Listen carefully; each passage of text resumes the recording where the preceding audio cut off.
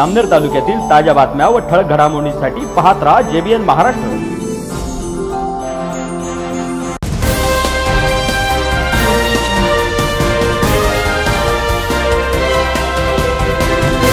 नमस्कार मी विनल चौधरी. पाहूया काही ठळक वृत्त.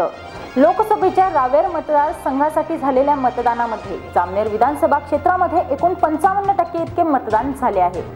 कडक उन्हाचा फटका या लोकसभेच्या मतदानाला सुद्धा बसला असून शहरी भागापेक्षा जामनेर तालुक्यातील ग्रामीण भागात मात्र उत्साह बघायला मिळाला आहे. जामनेर शहरातील सर्वच मतदान केंद्रांमध्ये सकाळच्या वेळी मतदारांची गर्दी होती. तर दुपारच्या वेळी मात्र तुरळक प्रमाणात मतदान झाले आहे.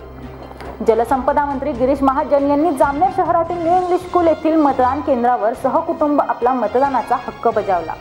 तर काँग्रेस राष्ट्रवादी काँग्रेस पक्षाच्या पदाधिकाऱ्यांनी सुद्धा त्यांचा मतदानाचा हक्क बजावला आहे. तालुक्यातील भागदारा या गावी साहेबराव जोगी या नवरदेवाने बोहऱ्यावर चढण्यापूर्वी मतदान करणे पसंत केले असून त्याने लग्नातील वराडी मंडळींसह आपला मतदानाचा हक्क बजावला आहे. एकूण जामनेर विधानसभा क्षेत्रातील लोकसभेचे मतदान शांततेत झाले असून येणाऱ्या तेवीस मे रोजी या क्षेत्राचा खासदार कोण? याचा फैसला होणार आहे.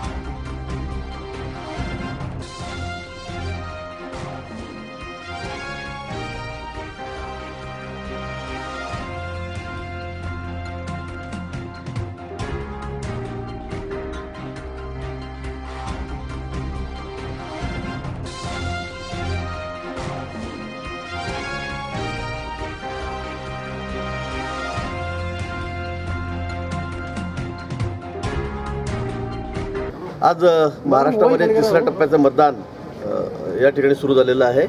आणि मी आज सहकुटुंब म्हणजे पत्नी आणि दोन्ही मुलींसहित आम्ही चौघांनी या ठिकाणी मतदान केलेलं आहे. पण तू आज मला वाटतं की अतिशय चांगला उत्साह मतदारांमध्ये या ठिकाणी दिसतोय. म्हणजे खरंच मी अनेक म्हणजे गेल्या तीस पस्तीस वर्षापासून निवडणुका बघतोय.